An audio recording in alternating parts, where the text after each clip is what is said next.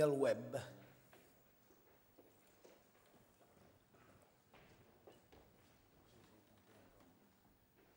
Il timer. Il timer, il cronometro, bene. Non sei il primo eh, ad avere il cronometro. Real web.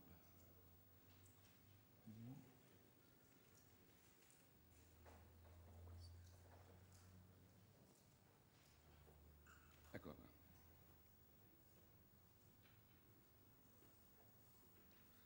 Blocco il timer perché non è valido. Buongiorno, sono Pier Francesco Federico.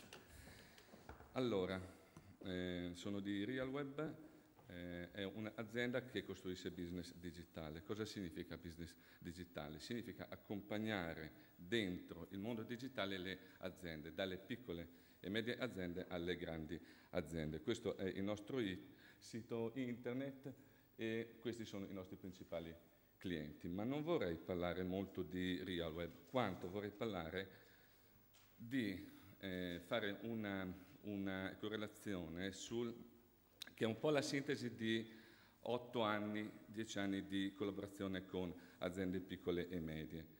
Eh, perché noi crediamo che entrare nelle business digitali, come qualcuno prima ha detto, significa cambiare paradigma dell'azienda, significa portarsi all'interno del, dell'azienda dinamiche e modalità di lavoro, quindi costi, professioni completamente diverse, il che non è una cosa semplice. Tutti parlano di business digitale e di innovazione. Vi rubo un secondo per, eh, per cercare di capire cos'è innovazione. L'innovazione è l'applicazione di una scoperta, di qualcosa di, di nuovo dentro un'azienda. Quindi per la produzione cos'è inno, innovare? È fare prodotti con caratteristiche migliori e con meno componenti. Alcune aziende che seguiranno, una in particolare rottaliana, è proprio la sintesi di questa definizione. Oppure innovare è rendere ai propri clienti servizi più efficaci e, e più utili. Tutto quello che non rientra in queste due eh, definizioni è regresso. Chi ha inventato questa macchina pensava di aver fatto la, la macchina più bella del eh, mondo. Probabilmente ha delle soluzioni tecniche, meccaniche eh, interessanti, ma da, ma, ma da, un punto di vista del mercato è una macchina che non è vendibile. Quattro ruote consuma di più, sprofonda perché pesa molto, molto di più. Quindi attenzione, abbiate bene in testa quello che significa innovare, fare prodotti e rendere servizi migliori. Perché un'azienda deve portarsi in casa innovazione? Parliamoci chiaro, le aziende vivono perché fatturano utili. Quindi se in un periodo come questo di crisi io devo spendere 40, 50, 60 mila euro per un e-commerce e dopo vedremo. Io devo essere certo che questi soldi che metto nelle innovazioni e nei nuovi business mi ritrovano. Se io sbaglio, muoio e nessuno di noi eh, vuole, vuole morire. Quindi andiamo a prendere un esempio concreto. Cosa significa per un'azienda di piccole e medie dimensioni fare un e-commerce? Guardiamoli. Partiamo dalla piattaforma. Io mi devo acquistare una piattaforma dove caricare tutti i miei prodotti, perché io devo vendere questa merce e davanti ho il magico mondo dell'e-commerce, dove credo di arrivare in tutto il mondo. Certo, ma quando io pianto la piattaforma, la piattaforma deve parlare con il mio gestionale che magari ha 10 anni e quindi al costo della piattaforma eh, devo aggiungere anche il costo del, del, del, del gestionale. Dico qui, eh, molte, eh, molte scritte sono rosse, altre nere. Le rosse sono i costi aggiuntivi che voi avrete vendendo online oltre al costo del prodotto vostro.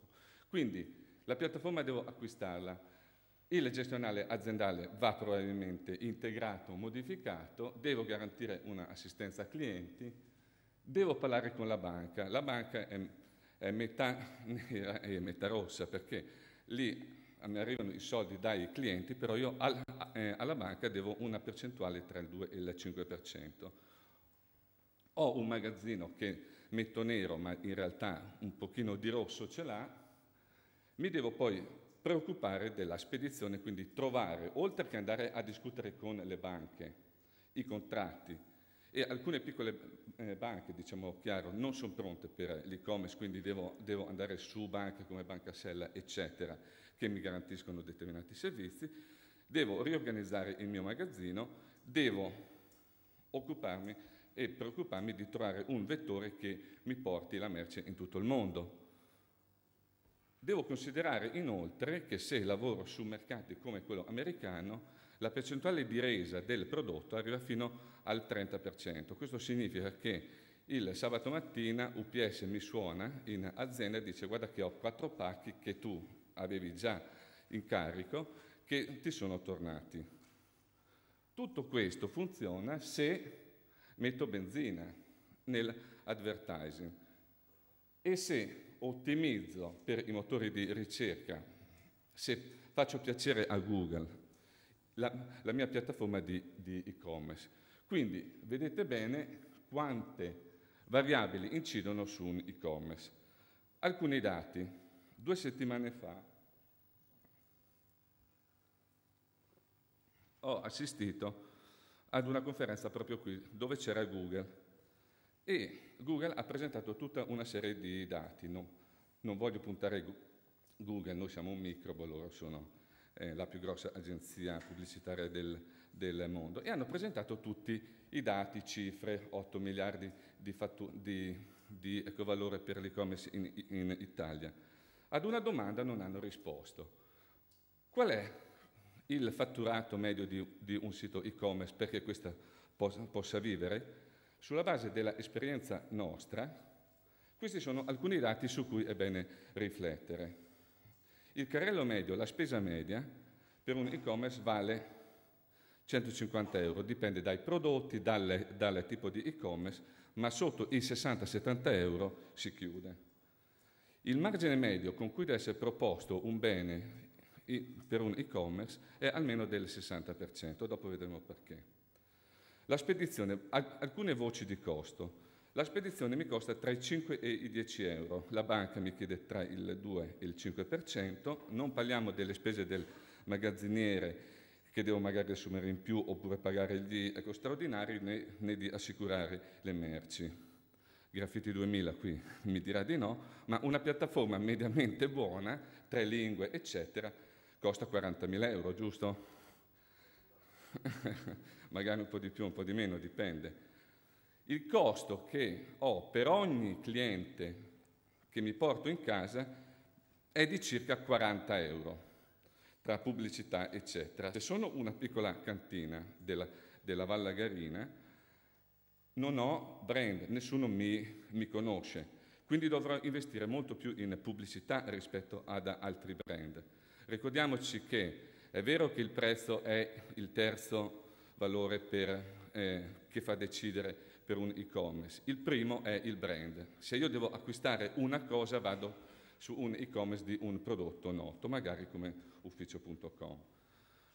Devo pagarmi il, il customer service, una scheda prodotto dove mi si descrive il mio prodotto con le foto e tutto quanto mi costa dai 35 ai 50 euro, grosso modo. Se voglio farla bene, usare le parole giuste, eccetera non mettiamo i, i, i costi di comunicazione che facciamo noi, eh, ma eh, newsletter, social media, poi sono tutte cose che devo aggiungere per creare valore attorno alle, e-commerce. La piattaforma ha dei costi eh, applicativi che durante l'anno devo comunque sostenere no? e dei costi ev- evolutivi, cambiami il banner, sposta questo, fai il tema natalizio, quindi ogni anno io, io investirò per la manutenzione ordinaria 10%, per quella evolutiva circa set, dai 500 ai 600-700 euro a mese.